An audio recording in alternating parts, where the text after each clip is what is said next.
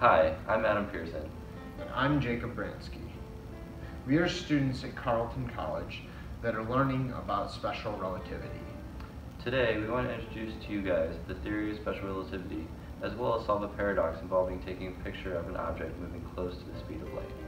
First, an introduction of special relativity. There are two principles to special relativity. One, the laws of physics do not change. Second, the speed of light is always constant. As an object increases velocity to reach speeds close to that of light, to a person at rest, the object seems to be contracted and shortened. In this picture, we see that three rocket we see three rocket ships. The closer a rocket ship gets to the speed of light, the more its length contracts. This is because, as stated before, the speed of light is constant. Because the speed of light is constant, and the rocket ship is moving very close to the speed of light, the light particles emitted from the front of the rocket ship do not move away from the rocket very fast. Consider you sitting in a car to be like the rocket ship and a semi-truck to be like a light particle. If you are at rest in the car and see a semi-truck whiz by you, it will appear to be moving very fast. This is the way you normally see light on Earth. However, if you are both driving down the highway, as a semi-truck passes you, it does not appear to be going very fast. This is like what happens to the rocket ship in light, once the rocket ship is going very fast. Our paradox deals with the distillation of light. A squared grid, like the one pictured, travels at three-fifths the speed of light. We will define the time equals zero to be when the center of the grid passes our camera. At time equals zero, we will take a picture.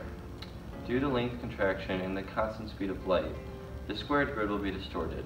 Our question is, how will the squared grid look in our picture? Let's say that our camera is one meter away from the center of the grid at time equals zero.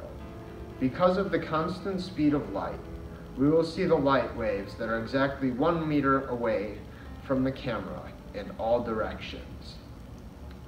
This will cause the camera to see the light at the edge of a one meter radius hemisphere. In actuality, when we take a picture, we are only seeing the light waves in a hemisphere as well, but the objects we normally capture are not moving near the speed of light. The problem is our object is moving near the speed of light. So the location that are the locations that are captured by the camera will not be at t equals zero for all nine points because it takes time for the light to reach that hemisphere. For point I, the center point, we are taking the picture when the point passes the camera. Therefore, point I will be one meter away and seen at the coordinate point 0, 0. For A, C, D, E, G, and H, we will be seeing them in the past because their distances from x equals 0 will mean it takes time for the light waves to reach the 1 meter hemisphere. Therefore, we will see the light particles of the point in the past, so it'll be seen further behind than it actually is. This causes all the points to be seen further left than they actually are. This will cause the grid to look like this.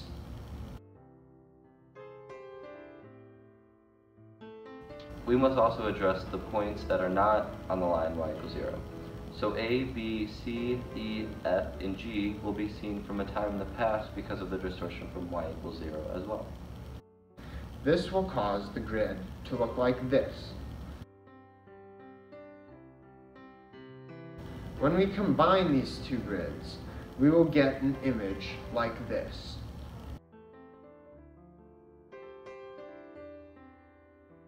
Using the Pythagorean theorem, we found the exact coordinates for each of the points.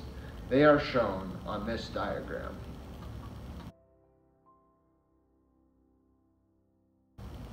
As you can see, an object moving near the speed of light will have a length contraction solely in the direction of movement. Even though we do not see this in everyday life, ideas like this are very important when dealing with high speeds and great distances often dealt with in space. Thank you for your time. I hope you gained some understanding of the theory of special relativity. May the science be with you.